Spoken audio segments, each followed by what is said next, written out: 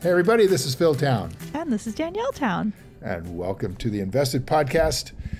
Danielle's coming to you from Zurich, Switzerland today, and I'm coming to you from Las Vegas. I'm in the Four Seasons, enjoying enjoying a little Four Seasons time after finishing a race over at Spring Mountain.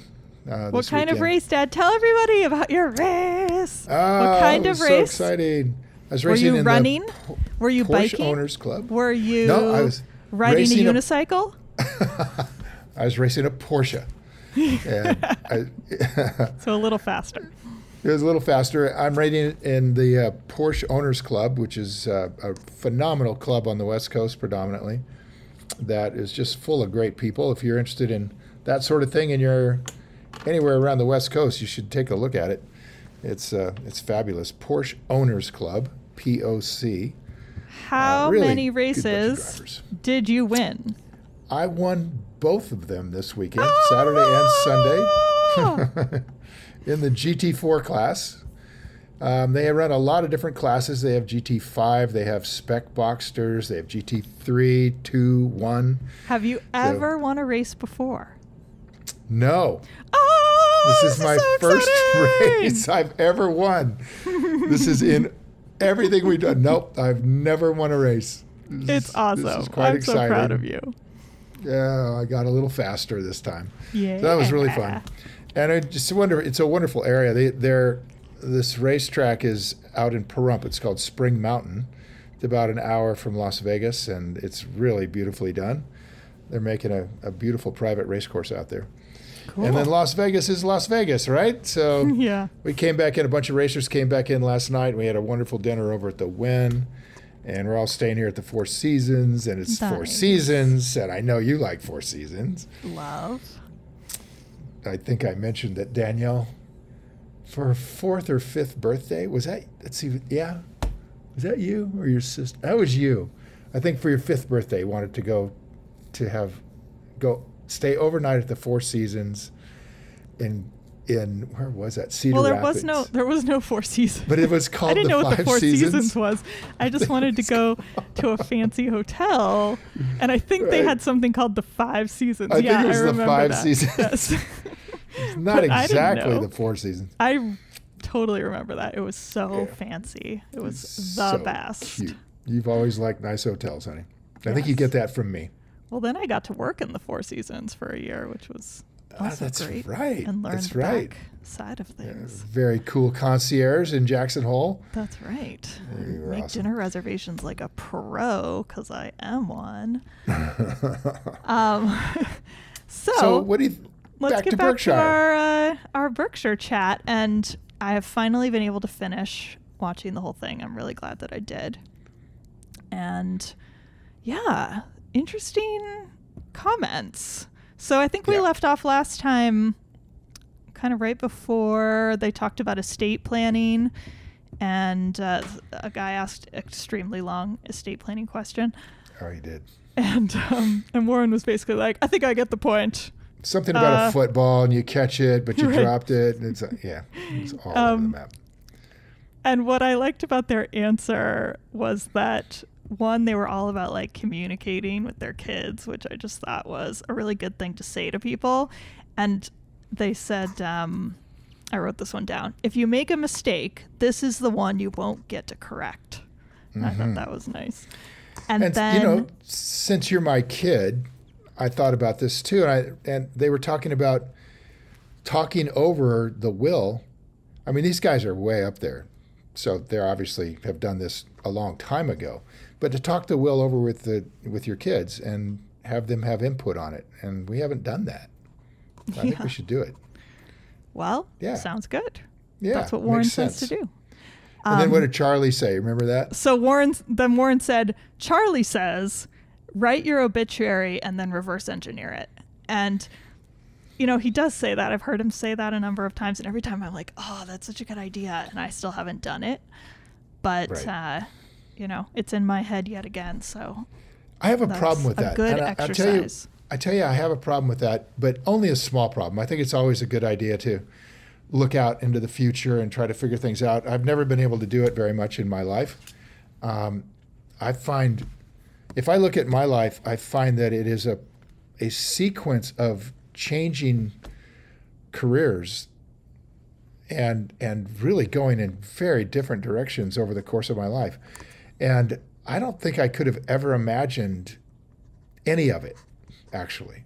I could have But that's imagined quite the army. interesting. That so, so what you're what I hear you saying is that your obituary would focus on your career. Well, it would have What well, if you just I- leave your career out of it entirely?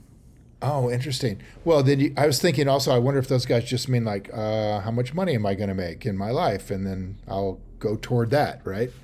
To reverse engineer it. I think that would it's, be it's so- whatever is important to each person. I doubt that it's about money for them. Well, think about what it is you do. Okay, what you do or what you have. How how would you look at it? I don't know. I haven't done it. That's why it's. I mean, an it's so interesting when you think about it. I, I would think immediately I go to what do I do, and then I could immediately then go to oh what what will I have? So what did I do? What would I have? Who would I be with? I mean, what else? What else could you think about? We should I do don't it. know. It's it, we should do it. It's kind of interesting. I don't think you can do it, and I think I think you can do it, but I think if you hold on to it, then you become like a person that thinks they want to be a doctor at ten years old, and then they become one and hate it. But that's you know what they want on their obituary because it sounded good, Doctor Town. I, I mean, it's just like no, I think man. that's taking it a little too seriously. I think it's a little Well, I- more like like the Charlie Munger version of a vision board. Like, what are you thinking about? Put it down, solidify it a little bit, find some pictures or write it down, and think about like who you want to influence, who you want to be around. You know, what do you want people to say about you when you're gone? Well, I think we should come back to this with another podcast after we think about it a little bit. Maybe we could actually figure something out. But right now, Maybe we could figure. I don't know. I don't. I don't know how I would do it. onward. Let's go onward. Onward. Okay. Okay. Um, very good. Um, what What was the next thing that caught your mind? Like, So for me, the one where somebody asked about this professor Damodaran, who's at NYU or used to be at NYU. I don't know if he still is. And he's a business professor. He's written a bunch of books. Um, he's written. He's written the the kind of the textbook of valuation. He's the That's right. valuation guy. yes, that's the one Like, Nuno handed to me, and it was Yeah. like three inches thick and terrifying. I've gone through it page by page. I really like Damodaran. I think he's super smart. And I think he's the guy you go to, or his students, or someone who's done the work with, with that view of how you value a business. If you have to say what the value of any business is in a court of law, that's the book you would use. But I don't have to value every business on the planet. And so mm-hmm. I don't have to do it that way. Mm. Because if I do it my way, there's lots of businesses I can't value. There's no way I would know enough to put real value on things. So the way they do it is, I think, at one hand, required and necessary, and on the other hand, completely not effective in most of what I would look at. So Yeah, that makes sense. Yeah. That makes sense. So it's useful for certain purposes and not for others. And I think just being aware of that is a good thing, knowing Yeah. The usefulness and the context. Yep. And what this questioner said was something like he saw him on a show or a podcast or something where he said that Apple is 35% of Berkshire's portfolio and that that is far too high and he doesn't support um, right. having such a high concentration of any one company. And Charlie goes, he's out of his mind. and, and what he meant was not that the guy like doesn't know anything. He obviously knows a lot. Um, what they meant is that the Berkshire portfolio is not only marketable securities like Apple and other ones. And so yeah, and uh, also there are going back to a very old theme, which is that I, I think Charlie was saying something like, "This is one of the inane things taught at universities. Yeah, is that that's the mass second part of it. diversification exactly. is mandatory. It's an insane idea." He said, "I mean, these guys' idea and and mine and yours is that you should own things you understand that are good." And it's literally insane to think you can own a huge pile of good things. Not because it's literally impossible, but eh, you know, if you had a maybe you know some sort of massive robot mind or something, but because you as a human can't know enough about those things to know that they're good. Mm-hmm. You just can't. And so you have to concentrate on a few things you do understand. And uh, Charlie's back to the old theme, man. They've got lots of high IQs, but those high IQs don't know the edge of their ability.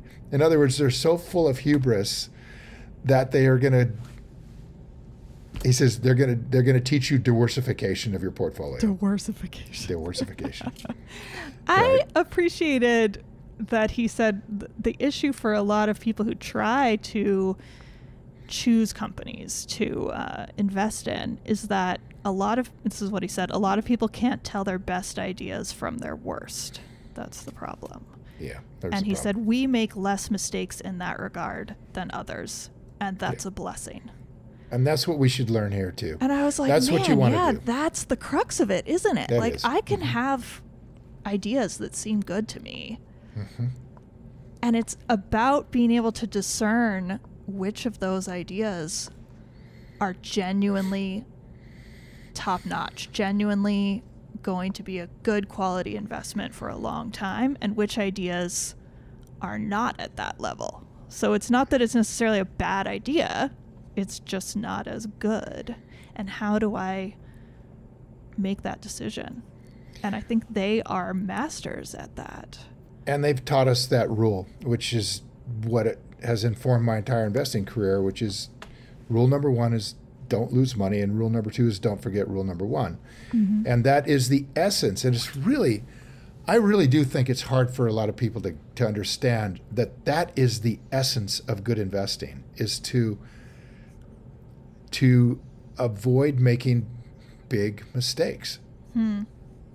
Because if you if you get a few things right in your life, you're going to be very rich. So all you got to do is avoid getting big things wrong. Right?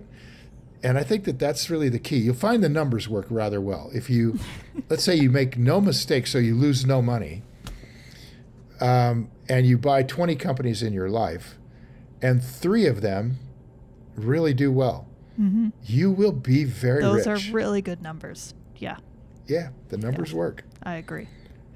That should encourage you to go out and learn this stuff, you guys. Then he talked about um Taiwan and China. Yeah, well, that's what just came to my mind when you said that. Like, rule number one don't lose money. This is a prime example of what Buffett does when he makes a mistake or what he thinks might be a mistake. The Right. Taiwan semiconductor question. So go ahead, I cut mm-hmm. you off. No, go ahead. Like basically Taiwan Semiconductor, right? Yeah. Like people are going like, why did you exit? What changed with Taiwan Because it was very short. It was just a few months that he owned it, which is extremely unusual Yeah. for Berkshire.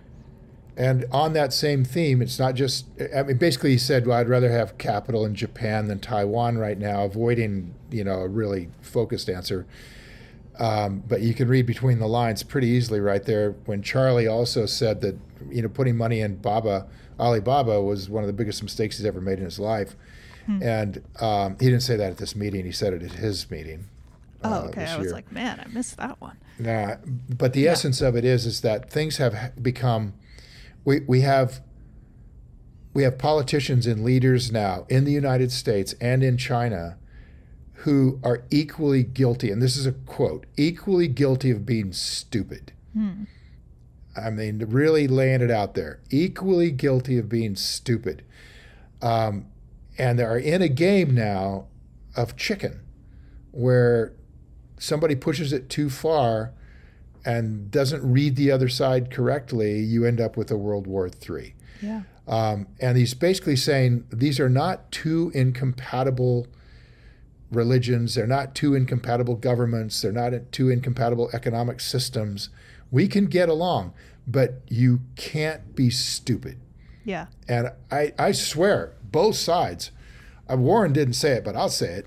The United States, in going, in threatening China that we are going to make Taiwan an independent nation, or we are going to battle for their democracy is ludicrous. That that is the equivalent of Russia telling the United States it's going to go to war to make Cuba a communist nation. There is no real difference there. And that is spitting right in China's face. And on the other hand, Chinese leaders are clamping down on everything to do with capitalism uh, to try to really control. They're they're shutting down all kinds of free speech around China, and and really scaring the markets and scaring the United States for oh my God, have we got another Hitler rising up here? We have another Stalin happening. Is this guy out to take over the world? What's what's going right? So exactly. you create fear on both sides. I think anything we can say about the U.S., we can say about China. They're yep. both pro- provoking the other. They and really are. what Berkshire, what Berkshire, what uh, Munger and Buffett were both preaching was common sense. They were saying, both of you have the ability to blow this up. Don't watch out. We have so much to gain from each other. Yes. And both uh, cultures are valuable. I mean, I think Charlie Munger has so much respect for Chinese culture. It's extraordinary. And obviously, massive respect for American culture. And so I really respect his view on uh, that the two can coexist and not just coexist, but have a true symbiotic relationship. Yeah. Um, and I think we he's, don't, we he's really like seen that as being possible. And I, I appreciated that viewpoint because you don't hear that in the news. Yep. I mean, the idea that, that America should force the world into democracy is making lots of people crazy and has for a long time. The idea that, you know, China is going to, you know, push over the border into India or, you know, push into uh, J- Japan and Korea is all of that makes the world crazy. And when you start criticizing other governments and other ways of doing things because they're not the way you would do them, you're asking for the world to have a war. And uh, we just have to stop. And we've got politicians in the United States on both sides that are hell bent on their little their political gain from saying inflammatory stuff. And it's just they, they have to stop or we're going to end up with a real, real bad mess. And Charlie or uh, one of Buffett pointed out Cuba. I, I thought he didn't raise that point for no reason. Cuba, he mm. said was you know there was mutually assured destruction, did, yeah. and we had a very close call with Cuba. Yeah. He said you can't make a big mistake in this game, or particularly now we have more tools of destruction than ever. So yeah, I thought That's that was true. a huge, huge good point. And it it I, I didn't watch what Charlie did or Warren did. I, I I moved out of China when I when the Ukraine war started, and I saw what the United States did to Russian investments, and uh, just like holy criminy, our government will move aggressively to put those those investments to zero if we get into trouble with with Taiwan. Mm. So we got out of there. It was just well, really unfortunate.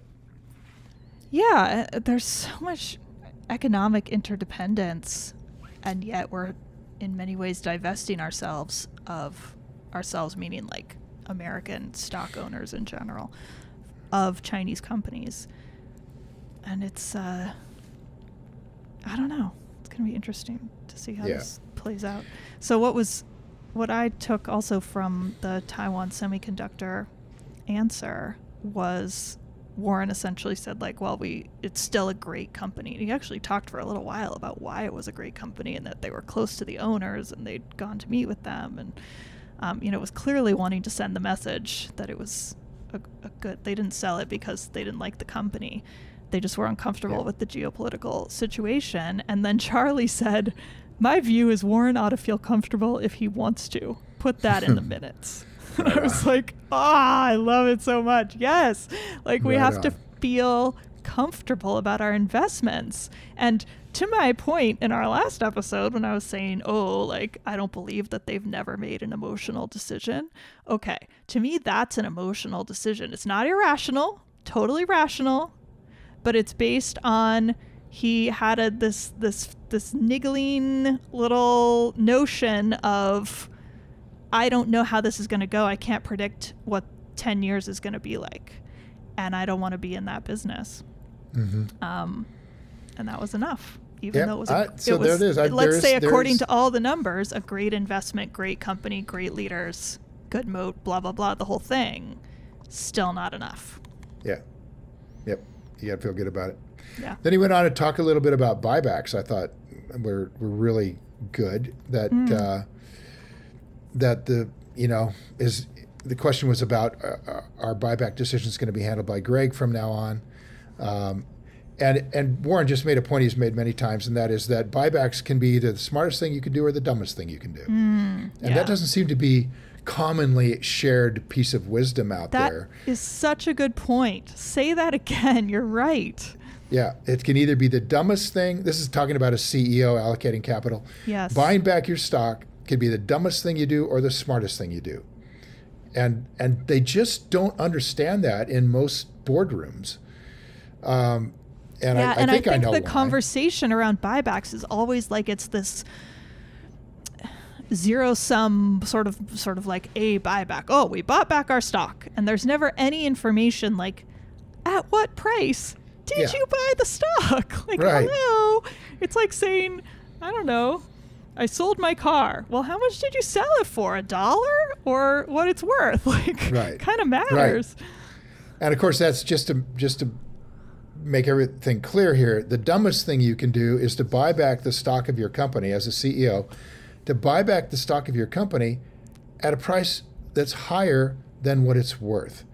And the smartest thing you can do is to buy back your stock when its price is much less than what it's worth. Mm-hmm. And the most CEOs just buy back their stock. And what's created from that, for example, when Trump dumped uh, a ton of money into the corporate coffers by cutting their taxes dramatically mm-hmm. Mm-hmm. back in 2017 or 16, CEOs, instead of hiring employees, instead of building factories, instead of doing things that Trump wanted them to do and the country wanted them to do, they bought back their stock, despite the fact that the stock prices were elevated higher than the, the value of the companies in most of these companies. And that created a political wave led by Elizabeth Warren to put regulations and laws around how you can spend the money and start to regulate commerce from Washington, D.C., which Elizabeth Warren, a former librarian,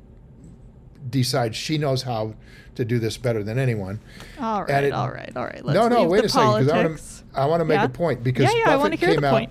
Buffett came out not very long ago, and and really said this is imbecilic to put a tax that Biden and Elizabeth Warren are talking about, a 4.5 percent tax on buying back your stock, because again, buying back stock can be the dumbest thing or the smartest thing, and you can't regulate that from Washington D.C.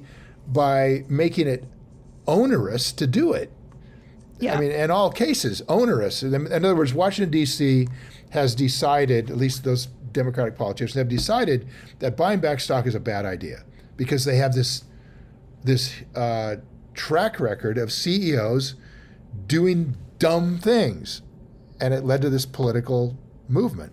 Yeah. And Buffett is saying, whoa, hang on. It could be brilliant to buy back your stock. Why would you penalize it? And just like, oh my God, you you know, it's that that's just The part of the crazy Washington D.C. The stuff. bad actors ruin it for everybody else. well, and the yeah, the bad actors and the politicians who are pandering to their base. Well, they're trying to respond. You know, they're trying. They're going, yeah, this everyone idiotic as crap. everybody. You know, so what do we do? Can we do something about it? And they come up with a solution that doesn't solve anything. That's because they're so stupid. They don't bother Oh, to find out about it. Don't you think that's stupid when you when you start to force people to do things that you don't even understand? I that what else would you call it? It's either stupid or it's insane. I don't know which. You want to I don't think Well- these people are insane. In similar vein, Buffett also talked about the recent bank failures and the implication, I suppose you could say, that now all of a sudden all of our bank deposits seem to be insured by the FDIC, even though that's not actual law, but that's Right. what they've done. And he was saying that that was, you know, if that's what they're going to do, um, he didn't really complain about them doing that exactly, but he was saying, let's just make it explicit, make it clear. Don't leave people in limbo wondering if you're going to do that again the next time.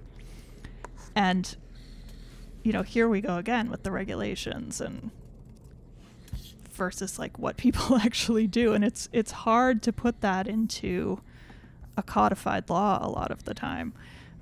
In addition, I think those laws uh, uh or those not laws, those sort of swooping in saving the day so that there isn't a giant bank failure and runs on the banks has the unintended consequence of insulating the people who actually caused that to happen, of actually making the decisions that led the bank to fail, or that, or the people Buffett pointed out, the people that borrowed huge amounts of money with no collateral, no personal, uh, what is it, non-recourse, um, where they don't they don't have any personal liability.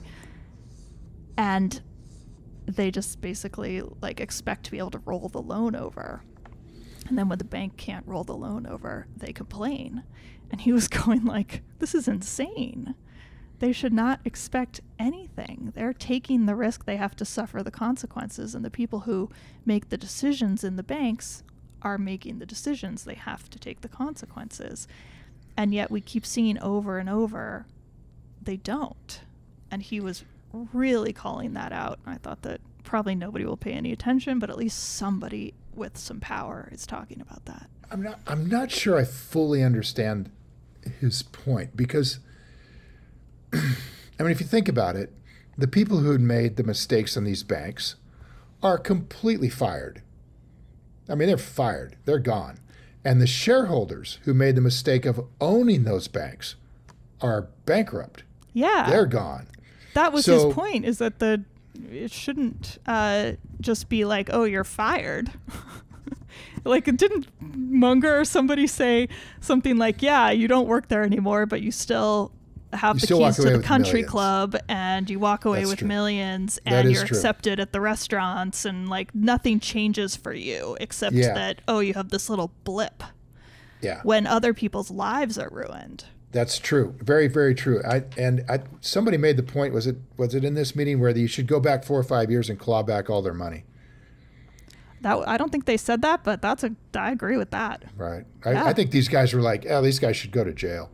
I mean, they're they're they're taking risk with people's money who are hiring them to not take risk with their money. I mean, banks are Right. supposed to be safe. right And in pursuit of bigger and bigger profits, they just keep doing these clever things. Yeah. So I. And I, did I you get notice that, point. Charlie totally picked up on my point? He probably listens to our podcast. He totally picked up on my point that banks that are publicly traded have competing interests, have have the wrong incentives for what they actually do, which is to provide good loans to people who have a strong possibility of paying them back. Right. And they do not have the incentive to make those good, sturdy financial decisions anymore. They have the much more short term incentive to just pass out loan after loan after loan, collect their uh, bonus check, and go off to the country club. Yeah, absolutely right. 100%. All right, moving on. Um, somebody was talking about, oh, should be worried about Berkshire? Uh, you know, if you after you, you guys move on, pass away, and you know, Buffett was saying Greg is fabulous, and he will be fabulous with this, and his successor. You know, I leave that up to Greg. Um, something that you need to understand about business, and I thought this was the key point, is that finding great management is is not simple. It's not obvious. You don't just have a big bench of wonderful, fabulous people who are going to come up and run this company the way many corporations pretend that they do. And just the fact that somebody has had a career and went to Harvard doesn't mean they're going to be someone who is a great manager. Therefore, we should all follow Tom Murphy's rule. Tom is a fabulous businessman and a, a real Buffett really admires his career. He said Tom Murphy said the secret to a good business is to buy a really good business. That's the secret. Don't he said the the problem is that a lot of businesses are not a really good business. And when they're not a really good business, you need really brilliant managers. That's true. And there are just not that many brilliant managers around. And so That's Warren and Mark and Charlie have said this for a long time, and I thought it was clever that they said it again here that you really want a business that's simple enough that an idiot can run it. Because someday an idiot will. Yeah. And you want the business to survive that bad management. So the idea that we're going to be able to go and judge that, you know, these people are wonderful business managers and so fabulous and are going to make this thing great, that is beyond the scope of even Warren and Charlie. They they very much prefer to own businesses that are simple, a fantastic franchise that is durable, has a big moat, and can handle bad management. Although they want great managers, no question about it. I mean, that's it. the thing is when you when somebody says we want a business that can survive a terrible manager, there's no doing well in that sentence. There's no growing the business. There's no success. It's just pure don't go bankrupt. And right. that's not good. It's not good. like That- that's a good point. That's where the good managers come in is they take it from survival and move it up to excellent returns. Yeah, So absolutely. it is very important, but I I think, you know, he was making the point don't get overly hung up on these worries after we're gone. I don't know though. How do you feel about that? I I, I get the worries, you know. Um, I know Greg Abel is running most things now, and he's doing a great job. But it's going to be different. So It's going to be different, but I'll tell you what. Honestly, if Berkshire, if if a, if Buffett passes away um, in the next year or two, and the market responds to that by dropping Berkshire's price dramatically, I'm a buyer. Well, and the the, reason is, is, everybody you talk to says, "Oh, as soon as Buffett dies, I'm going to buy Berkshire because everybody else is going to sell." I know it's kind of true. It's like but it, they I might think be the right. price is going to pop. No, they might be right uh, because there are a lot of large pension funds that own Berkshire, and they are very risk averse. They and they're not going to know. They they don't dig deep into businesses. They own hundreds of them, and they're going to just get out. Maybe. And so I think Yeah. I think they're very likely could be both. They're right. The, the market will drop, but here's the thing: the the company broken up is worth vastly more than we'd pay for it right now. So Mm-hmm. um, if it drops a lot, there's just such a big margin of safety there that it's, it's you know it's, it's a buy. Yeah, I think that's we should think we should stop here yeah, actually. And um, and let's. I think we got one more. I mean, really, we sort of covered the first half of the meeting. Yeah, I mean, I don't. I think we've like covered Berkshire pretty much, except that I have some questions about some stuff they said right at the end about the currency in circulation, and about um, oh, what was the other thing? The mark to market of their equities. Mhm, How the and, accounting's like the going. accounting of it. So my question, like, I kind of want to. It's a little less about the Berkshire meeting, a little more just like let's. I'd like to learn about like the background of these numbers that they look at because I would like to look at them for my own investing. So um, a little more like macroeconomic look. And we could talk about why Elon Musk is overrated. Okay. or not. All right. We'll talk to you guys next time. Time to go so play. Clickbaity. Okay.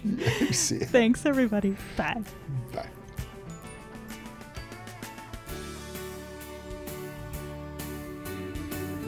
Hi, guys. Thanks for listening to Invested. If you enjoyed this episode and you want more information or to listen to additional episodes, visit our website at investedpodcast.com and sign up for my virtual workshop right there. Spots are definitely limited for this event. I'm not kidding, they really are. They sell out very quickly. So, everything discussed on this podcast, by the way, is either my opinion or it's Danielle's opinion. And it's really important, it's not to be taken as investing advice because I am not your financial advisor nor have I considered your personal situation as your fiduciary. So remember that. You're on your own here. This podcast is for your entertainment and education only, and I really hope you enjoyed it.